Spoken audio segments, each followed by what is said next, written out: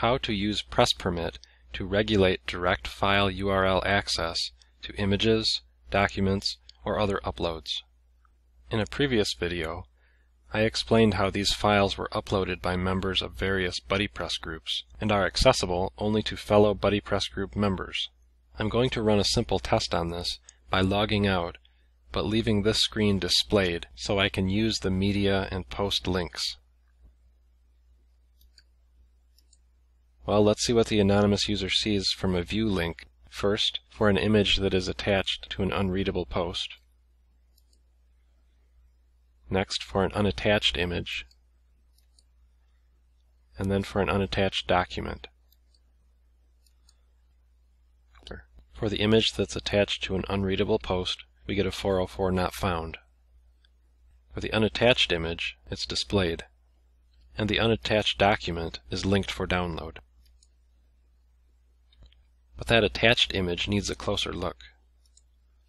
The link that I hit from the media library is a WordPress attachment URL. But what about the URL for the image file itself? Even though the WordPress attachment URL returns not found for this anonymous user, the image can still be viewed if the direct file URL is known. So with WordPress 3.6 stock, or with our press permit configuration up to this point, every file uploaded to the site is publicly accessible, whether it's unattached or attached to a public or private post. All that's needed for access is knowledge of the upload folder and file name. Well, the good news for press permit users is there's a very easy solution to this problem.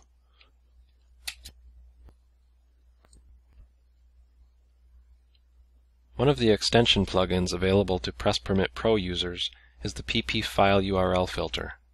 Let's activate that and see what happens. Now I'm going to log out and take a look at those image links again.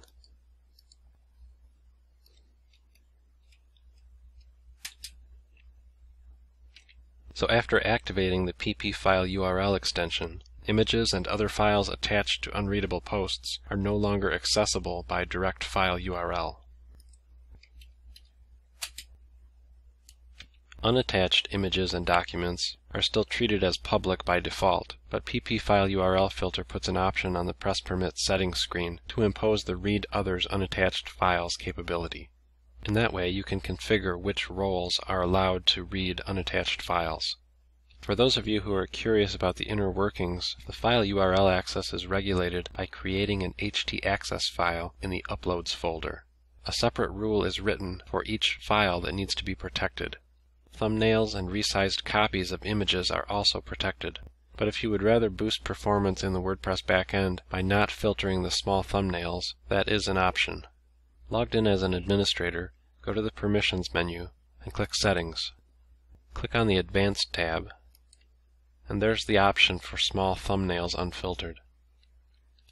The Uploads htaccess file defines a separate secret key for each protected file. When the file URL filter determines that a requested file access should be permitted, a 302 redirect is sent with the required key argument appended. Since this keyed file URL does go back out to the browser, it's always possible for a user to pass on a full access file URL link.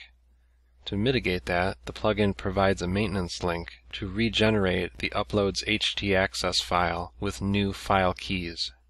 By hitting this URL with your own cron service, you can give your file URLs as short a lifetime as you want. If you're wondering about multi-site network installations, the file URL filter does work there too. If you started from a fresh 3.5 or later installation, you probably won't notice much difference from single site, but older installations of WordPress multi-site had a different way of handling file URLs. Because of that, if your multi-site installation still uses MS Files Redirect, then you'll see this additional dialog in your settings screen. It's telling you that there are some additional rules that you'll need to add to your main htaccess file. And the bad news is that's not a one-time operation. There needs to be a separate rule added each time a new site requires file filtering. The plugin won't make those changes for you automatically, but it does let you trigger that change with the click of a button right here.